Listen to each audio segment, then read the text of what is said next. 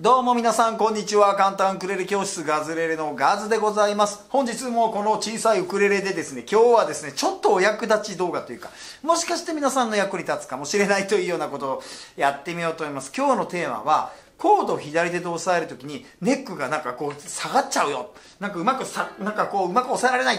そんな声が多いんでございます。これはですね今この展開しておりますこのガズクラブというふうに、えー、よくガズがねよくあの皆さん告知させていただいてますけど、まあ、あのガズのノートが毎月5曲あのデータって手に入るってやつでその中でですねあのガズクラブ限定オンラインライブイベントだとか SNS でいろんな質問を受け付けてるんですけどそこで結構上がってくる質問なんでここは YouTube の方でもちょっとシェアしようと思います。そしてですねウクレレこの動画もしかして初めて見ている方もいらっしゃると思うかもしれないのでウクレレて、えー、面白いですよ。ぜひ始めてください。もしそんな方いたらここ見てこのリンク先に行って、えー、ウクレレを始めましょう。本当に簡単に楽しくできますからね。じゃあそれでは説明に入っていこうと思います。まずコードの押さえ方なんですけどあの今の初心者さんが見てくださいというやつでも言ってますけどまずコードっていうのを押さえるわけよね。C とか F とか G7 とか a マイナーとかそういうのがあるんですけどこれね今何を言ってるかというと例えばねなんかこう F から例えばじゃあ C から F に行く時に C から F なんかネックがこうスコンってこうここからねこう多分このことを言ってらっしゃる。見覚えありませんか？見覚えありませんか？って覚えがないですか？あのねこれよく受ける質問なんでこれねちょっと今回紹介しておきましょう。まず基本的にはですねまあ今ここ C をこういうふうに押さえるでしょ？その時にあのこの左手で押さえる方法がガズ的には2つあると、えー、よくご説明しているんです。けど一応おさらいでねあのねクラシックスタイルとロックスタイルというふうに、まあ、ガズは勝手に命名しておりますけどクラシックスタイルで C を押さえるとこんな感じです。はい何が違うか。ここに注目。ここ。こここんな風に隙間が出てるのがクラシックですね。はいでロックはじゃあどうだというと見てこういう風に押さえるここ隙間全く空いてない。ここね。はい。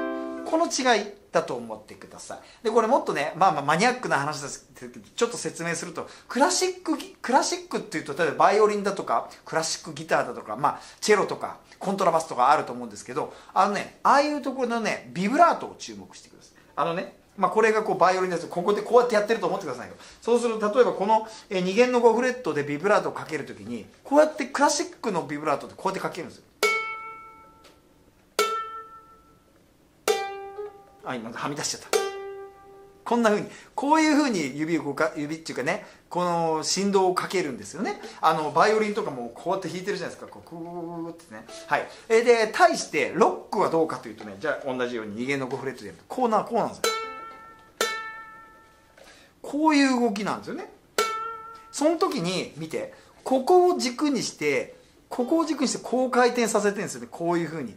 要は視点よくあるじゃないですか。力点式点力点視点みたいなものちょっとねその辺詳しく分かんないですけどこんなふうなあのためにクラシックは基本的にはこういうふうにフレットと同じあの角度っていうかで指を使う方パターンが多くてロックの場合はだから斜めになるよね。その違いがあると思っておいてください。そして、えっと、多分ですけどこのコードを変える時にうまくいかないのはクラシックフォームだと思うんですよ。例えば、えっとえっと、踊るポンポコでやってくれて「何でもかんでも」ってこうやって押さえるでしょ。で上一本の時に「何でも」あれ？もういきなりスカッとここ下がっちゃうじゃないですか。はい。そんなことだと思うんですよね。で、えっと、じゃあまあクラシックフォームの人の、え有効な、えー、方法なんですけどやっぱストラップかな。今ガズっていつもここにかけてるけどこれあんまりストラップ効いてるんだけどちゃんとこうやってかけてそしたらねまあちょっとこれ短くしておこうか。今日はちょっとあれだ。あのそういうお試しなんで、まあ、ちょっと今これでいいや。これで ねちょっと短くして暫定的にね。そうするとほら何にもしてなくてもウクレレってこう下がらないからこういう時だと「でもかんでもみんなみんな踊る」ほらここにずっとここのスペース空いたクラシックフォームのまま一回ネックから手が離れてもここがストンと落ちないですよね。だからこのストラップをすごく使うとあのクラシックフォームの方はすごく有効だと思います。あとはあのハワイアンの、えーと、弾き方でここでこう肘でホールドしちゃうとネックもこう当然下がらないのでこういうふうにこんなふうにここでもう持っちゃってるわけだからね。はい。でも肩やこうやって膝に置いてやるとこうやってこう分かる？肩ってこう下がっちゃうでしょ。だからここをなんとかこうホールドしといてウクレレだけがこういうふうにあの宙に浮かんでいる状態に、えー、手で右手で持つとかこう肘でこうホールドするとかストラップでそういう状態だとクラシックフォームですごくいいと思います。そして片やですねあの私はねもともとロックギターのねあの歴史が長いのでもうウクレレっていうよりはもうそのなんかそういう感じで捉えてるんで。でウクレレではですねクラシックフォームを、えー、推奨しているようなんですよ。ちょっとどうやら。はい。なんでここをスペースが空く、えー、あのねあのー、開けてくださいっていう動画が多いなというふうに感じるんですけど、まあ、ガズの場合はもう思いっきりロックフォームでやってます。そうしたら何つうんでしょうかね。もうこれを一応簡単に解説すると指のねこの部分。ここ。ここですね。ここ。ここをここのねヘッドのねここの角度のところにもうここうです。そうするともうこれ見てここで持ってるんですよね。ここでホールドしてる押さえてる。ネックが下がらないように。はい。だからどこに置いといても基本的には一応大丈夫で。でこの形のままコードを押さえていくんです全部。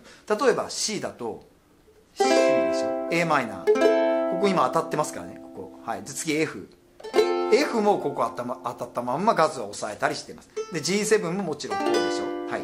でこうやってロックフォームの人は結構下がらないんですよね。でクラシックフォームの人がやっぱりストラップとかそのほあの持つのを気にしないと、まあ、まずいあのネックがなんかうまくこうスカッとやっぱなっちゃうんでこここだと思うんですよキーポイントは。じゃああの1個あの私がいつも使ってるロックスタイルのやり方でこの有名なこの本にも出てますけどねガズレレ必須コードを全部押さえてみようと思うんですよ。これ10個ありますよこれ。これはね何ページだ？11ページに書いてあるけどこのあの赤い本でいうところね。あこのガズレレ必須コードよく分かんない人ここにリンク貼っとくか。らこれ絶対覚えてくださいね。あのウクレレやる上での超基本コードね。じゃあまずだんだん押さえていきましょう。ちょっとこれ見てね。C でしょ？ここさっきも言ったけど C ちょっともうちょっとアップで打つ、はい、C をここでしょここで押さえてる。F もここで押さえてる。G7 あ、まあ、じゃ最初からいこう。C でしょ？C C7 もここ押さえたまま置いたまんまです。A7 もここ置いたままですね。はい。そしたらまず a マイナー。A マイナーも当然ここここで支えたまま。A マイナー。次 F でしょ？次 D7 でしょ？次 d マイナーでしょ？次 G7 E7 E, E, あ E7 E マイナー7か。つまり、えー、ガズレレ必須コードって指をここに置いたまま全部これで押さえられるんですよこれ10個は。はい。そしてたまに出てくる。ちょっと難しいコードっつうのがここから離れるわけですよね。例えばガズレレで出てくるコードというと b マイナー B7 か B7 というコードがあります。ちょっとこの辺にであのダイアグラムをやるけど押さえる場所はこことこことここでしょ。そうするとこうなりますよね。そうすると見てよ。ここは間開かないとじゃん。だから軸がずれてやりづらいっていうのはそうそういう表現なんですよね。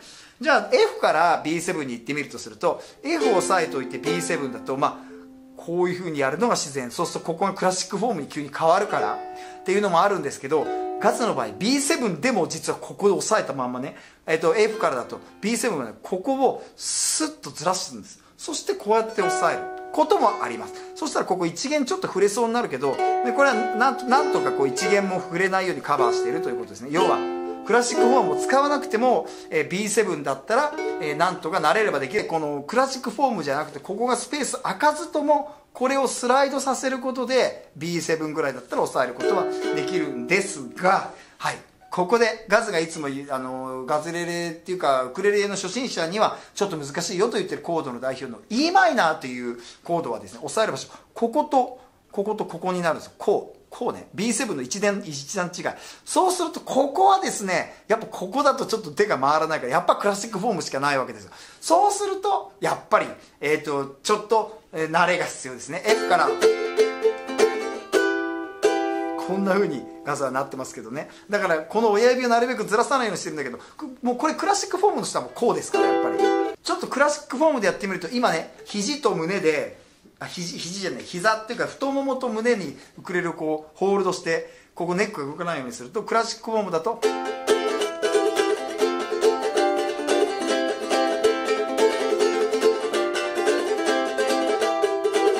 ここずっと開いたまんまクラシックフォーム僕の普段のロックフォームだとあのもう自由に。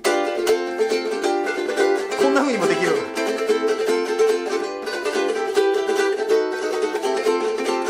ここずっとここで押さえてるんだこれが、えっ、と、秘訣、秘訣っていうか秘密というか、はい、なんですよ。なので、えっ、と、ウクレレの教本とか見ると、やっぱりクラシックフォームを進めているのがどうも多そうなんで、クラシックフォームを持ってしか抑える方が分かってないと、え、なんでこう、こう、型ってなんでよくみんななんないんだろうっていう疑問が生まれてくるんだと思います。これですね、あの、どっちがいいとか、どっちがダメとか言うんじゃないと思うんですよね。まあ、あのー、本当にスタイルなんで、えっ、ー、と、ど、どちらでもいいと思うんですけど、やっぱりどっちの押さえ方でもいいんで、あの、自分が楽な方で指が綺麗に指がじゃねえや音が綺麗に出る押さえ方だったらどっちでもいいと思いますよ。どちらの弾き方でも別にダメってことはないと思うのでまあご自身でいろいろ試してみて自分が心地いいところで、えー、やってみるのがいいと思うんですけどまあまあ両方弾けといたら一番いいと思いますね。その臨機応変に。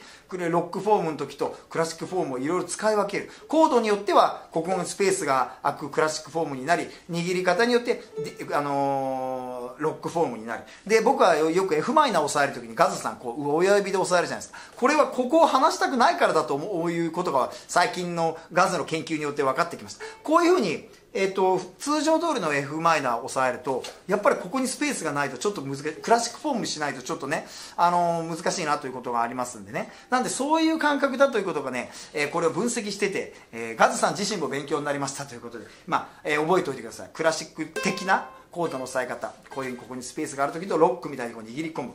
この2つの、えー、要は合わせ技でなんか臨機応変にこう対応していけるようになるとさらにいいんだろうなということでございました。まあだからガズはまロックスタイルの、えー、押さえ方なんだぞと。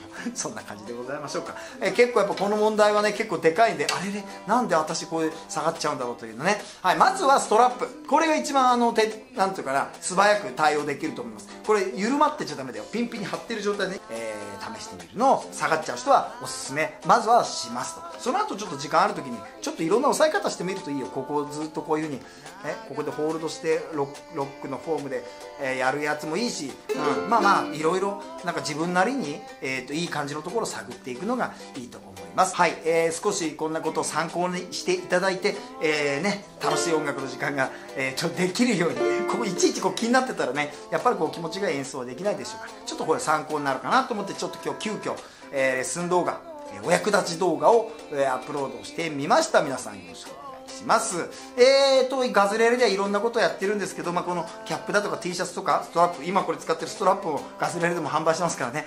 あとはねまあいろいろこう水引きもあるしウクレレもねちょっと今品切れ中なんで、まあ、そんなこと全部ガズレレ .com にまとまっておりますので、えー、何卒よろしくお願いします、えー、それでは皆さんごきげんよう。さようなら。